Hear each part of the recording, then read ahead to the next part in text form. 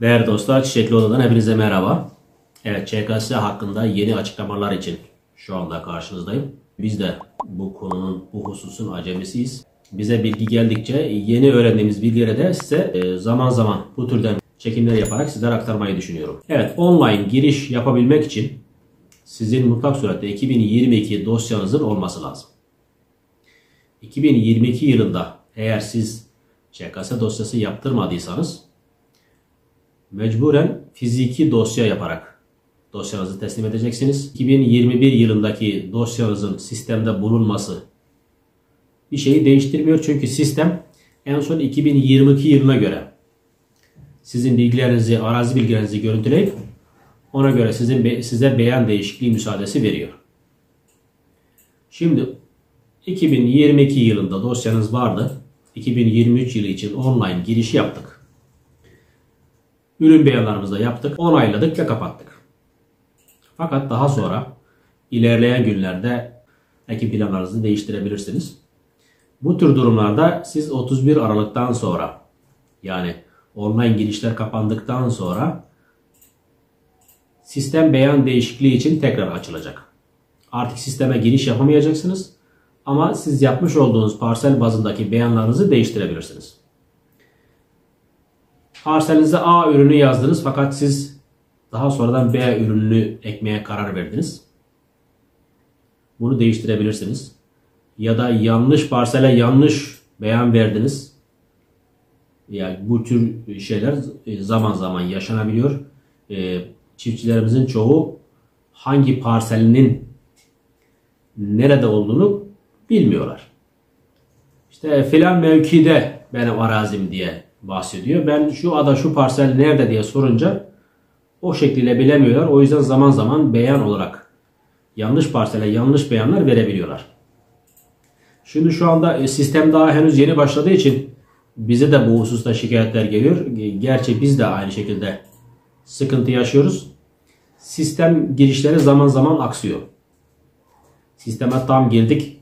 Kaydın yarısında artık e, sistem boşa dönüyor ya da e, hata uyarısı veriyor. Bu tür durumlarda e, yani acele etmemek lazım. Birkaç gün sonra ya da ilerleyen zamanlarda tekrardan giriş yapabiliriz. E, bilgi zaten biz sisteme daha önce giriş yapmışsak, işlemimiz yarıda kaldıysa ekran üzerinde bilgi güncellemesi butonu da açık. Oradan bilgi bir güncelleme butonu vasıtasıyla bilgilerimize girip kaldığımız yerden devam edebiliriz çiftçiler için çok kolaylık olan, bizler için de kolaylık olan bir husustan bahsedeceğim. Döner sermaye makbuz ücreti. Şimdi vatandaş dosyasını teslim ettiği zaman e, dönüm miktarına göre döner sermaye makbuz ücreti biz kesiyorduk. Her bir arazinin, her bir dönümün farklı makbuz şeyleri var. Birim fiyatları var. Bunları da şimdi size e, aktaracağım. Şu andaki sisteme göre siz İsterseniz online giriş yapın, isterseniz fiziki olarak dosyanızı teslim edin. Sizden döner sermaye makbuz ücreti e, nakit olarak, peşin olarak veya kredi kartıyla alınmayacak. Yani makbuz ücretleri eğer siz online giriş yaptıysanız zaten sistemin e, en sonunda kaydı tamamlamadan önce e, dosyanızın döner sermaye makbuz ücretinin 9 lira, 19,5 lira, 30 lira veya 39 lira olduğuna dair ekranınıza bir uyarı çıkacak. Siz bu uyarıda onay kutusuna tıkladığınız zaman bu size çıkan rakamın alacak olduğunuz destekleme ücretinden tahsil edilmesi yani de onay vermiş olacaksınız. Şimdi bu e, rakamlar neye göre belirlenmiş onu size söyleyeyim. Eğer araziniz 0 ile 10 dönüm arasındaysa 10 dönüm de dahil. Yani 10.999 metrekareye kadar makbuz ücretiniz 9 lira. 11 dönümü olduğu anda 11.000 dönüm ile 50.999 metrekareye kadar 19,5 lira. 51 ile 100 dönüm arası 30 lira. 100 dönümden sonrası için herhangi bir sınırlandırma yok. Sadece 39 lira. Bu hem bizim için hem de sizler için çok büyük bir kolaylık. Yani sistemin e, bu bu halini, bu şeklini ben takdir ettim. İki kredi kartı bilgisi giremez, yapamaz, beceremez babında düşüncelerim vardı ama sistemi bu şekilde yapmış olmaları çok mükemmel. Evet şimdi fiziki dosyalarda muhtar ve aza imzaları kaldırıldı. Bildiğiniz üzere artık bu muhtar ve aza peşinde koşmak zorunda değilsiniz. Yani muhtar ve aza peşinde koşmak derken muhtar ve azaları küçümsüyor babında bir şey düşünmeyin. Şimdi e, bazı çiftçilerimizin arazileri birden fazla köyde. Bu nedenle bu çiftçilerimiz illaki bu muhtarı ve azalarını bulmak, onlara ulaşmak zorunda. Onların imzalarını almak zorunda. Bütün muhtarları ve azaları her zaman yerinde yakalayamıyorsunuz. Köyünde olmayabiliyor, başka yerde olabiliyor. Dolayısıyla siz yani bir bakıma onların peşinden koşmak durumunda kalıyorsunuz. Bu imzalar için. Şimdi yeni sistemde artık muhtar ve ağza imzası kaldırıldı. Sizin kendi imzanızın olması yeterli. Ama sizin yapmış olduğunuz kira sözleşmeleri, muvaffakatnameler, taahhütnameler, fiili kullanım sözleşmelerinde mutlak surette muhtar ve bir ağza. Daha önceden iki ağzaydı. Şu anda muhtar ve bir ağza imzası şeklinde güncelleme yapıldı. Yani yeni bir işlem yapıyorsanız, yeni bir sözleşme tanzim ediyorsanız bir muhtar ve bir ağza imzası yeterli gelecektir. Beyanların yanlış verilmesi, hatalı verilmesi ve düzeltilememesi ile alakalı bu sene çok sıkıntı yaşayacağız. Bunu söyleyeyim. Süre oldukça kısıtlı. Sürenin kısıtlı olması ve vatandaşların yeterince bu husus hakkında bilgilendirilememesi nedeniyle vatandaşlarımızın çoğu yanlış beyan verecek ya da beyanlarını düzeltmek için fırsatlarını değerlendiremeyecekler, unutacaklar ya da başka bir sebepten yanlış beyan verilmesiyle alakalı bazı özel ürün desteklerinden mahrum kalabilirler. Bu çok önemli bir husus. Bunu çiftçilere çok iyi bir şekilde anlatılması lazım. Şimdi geldik benim buradaki asıl videoyu çekme amacıma. Bahsedeceğim husus biraz çetrefilli. Şimdi en sonki çıkan genelgeye göre artık ziraat odasına gitmemize gerek yok. İlk defa dosya yapmayanlar hariç. İlk defa dosya yapanlar gidip ziraat odasına kayıt olacaklar. Artık onlar da sistemde gözükecekler. Çiftçi olabilmeniz için ziraat odasına kaydınızın olması şart. Yani ziraat odasına sizin kaydınız yoksa size çiftçi gözüyle bakılmıyor. Şimdi ziraat odasına gitmeyeceksiniz dedik. Ama ziraat odasına olan aidat borcunuzu ödemeyeceksiniz babında herhangi bir şey söylemiyoruz. Siz ziraat odasına gitmeseniz dahi sizin ziraat odasına olan aidat borcunuz devam ediyor. Önümüzdeki günlerde epey tartışılacak bir husus. Bu hususta gelişmeler oldukça sizlere yine aktarmaya çalışacağım. Bazı kişiler şunu düşünebilir. Ziraat odasına işte ben aidat vermeyeyim. Ziraat odasından kaydımı sildireyim. Yapabilirsiniz. Ziraat odasına aidat vermemek için kaydınızı sildirebilirsiniz ama çiftçilikten düşmüş olursunuz.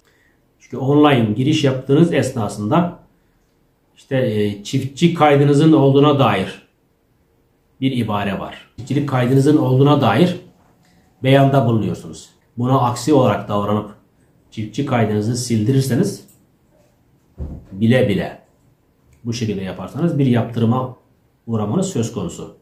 Yani sistemde bu şekilde beyan vermiş olmanıza rağmen gidip de sistem kaydınızı yaptıktan sonra ziraat odasına olan aidat borcunuzu ödememek için kaydınızı sildirirseniz ve bu durum ortaya çıkarsa siz 5 yıl desteklemelerden men şeklinde bir cezaya tabi tutulabilirsiniz.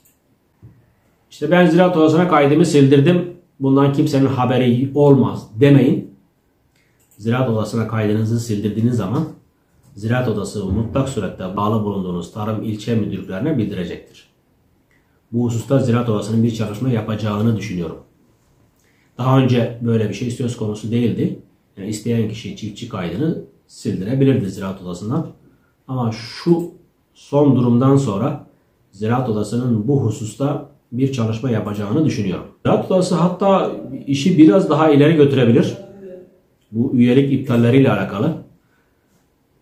Ziraat Odası'na üyelik kaydınız var ve üyelik aidatını ödemediniz. Ziraat Odası bu hususta size e, yılbaşı itibariyle öyle olabileceğini düşünüyorum. Yılbaşı itibariyle size ihbarname gönderebilir. Ziraat Odası üyelik aidatı miktarınız ödemeniz gereken tutar bu kadardır. Bunu şu tarihe kadar ödeyiniz. Ödemediğiniz durumda ziraat oda kaydınız silinecek ve çiftçi kaydınız düşürülecek. Aynı zamanda da hakkınıza icra takibi başlatılacak diye bir durumla karşı karşıya kalabilirsiniz. Usta Ziraat Odası nasıl bir çalışma yapacak bilmiyorum. Bunu da bekleyip göreceğiz. Eğer ilerleyen günlerde bu hususla alakalı yeni gelişmeler olursa da bildirimlerde bulunacağım. Şimdi Ziraat Odası'nın hiçbir şey yapmadan çiftçiden aidat toplaması biraz abeste iştigal durum. Şu an itibariyle söylüyorum. Çünkü artık kimse Ziraat Odası'na gitmeyecek. Yeni dosya haricinde. Ziraat Odası'na gitmeniz dahi siz oraya üyelik aidatı ödemek durumunda kalacaksınız. Yani siz oradan hiçbir şekilde hizmet almış olmasanız dahi oraya belli bir miktar ödemek durumundasınız. Bu toplumda bir karşı tepkiye yol açabilir. infiale de yol açabilir. Daha ilerleyen günlerde artık daha değişik durumlarda söz konusu olabilir. O yüzden bu hususta bir çalışma yapılmalı. Mutlak surette. Ziraat odalarına tavsiyem eğer artık bu saatten sonra evrak düzenleme işi ortadan kaldırıldıysa çiftçinin üretimini geliştirmek için ne tür yollara başvurabiliriz? Bunları oturup düşünmek, planlamak, koordine etmek için gerekirse tüzük değişikliğine gidip bir şeyler yapmak durumundasınız. Antalya tarafında biz bunu görüyoruz. Sosyal medyadan da olsun takip ediyoruz. Ziraat odaları çiftçilere, üyelerine tohum, fide, fidan temin ediyor. Alet ekipman temini hususunda yardımcı oluyor. Aracılık yapıyor. Bir ilaç gübre bayi gibi yani bildiğiniz bir iş yeri gibi çalışıyor yani ziraat odası. Onların e, tüzüğüne aykırı mıdır değil midir o hususta herhangi bir bilgim yok. Ama ziraat odasının bu saatten sonra artık çiftçinin girdisini düşürebilmek için neler yapabilmesi lazım. Onları araştırması, onlar üzerinde girişimlerde bulunması, çiftçileri daha ileri seviyeye götürecek eğitimler vermesi, eğitim çalışmaları, toplantılar, seminerler, kurslar, eğitici geziler düzenlemesi hususunda yeni yeni çalışmalar, yeni yeni planlar, yeni yeni projeler üretmesini ben kendi şahsi fikrim olarak iyi olacağını düşünüyorum. Evet, e, açıklamak istediklerimiz şu anda bu kadar. Yeni gelişmeler olduğu zaman yine sizlerle birlikte bu çiçekli odada buluşup yine size yeni açıklamalarımızı ileteceğim. Evet, yeni bir çiçekli odadan programda görüşmek üzere. Ama öncelikle size şunu tavsiye edeceğim. Yapacak olduğum bu açıklamalar, bu bilgilendirmeleri sürekli haberiniz olsun. Yaptığım andan itibaren sizin bilginiz olsun, size uyarı gelsin diye düşünüyorsanız öncelikle Hacı Vani Çiftliği kanalımıza abone olmanızı ve bildirimleri açmanızı istirham ediyorum. Bu şekilde yaptığınız zaman ben videoyu paylaştığım andan itibaren mutlak surette sizin telefonunuza bildirim gelir ve en kısa bir şekilde, en kısa sürede benim yapmış olduğum açıklamaları öğrenmiş olursunuz. Yaptığımız bu açıklamaları sizler de WhatsApp durumlarında paylaşabilirsiniz. Eşinize, dostunuza bizlere tavsiye edebilirsiniz. Daha çok kitlelere ulaşmak için sizlerin desteğine ihtiyacımız var. Ne kadar çok daha fazla kitleye ulaşabilirsek sesimiz o kadar daha iyi çıkar. Yeni bir çiçekli odadan programında görüşmek üzere. Hoş kalın. Hoşça kalın ve Allah'a emanet olun.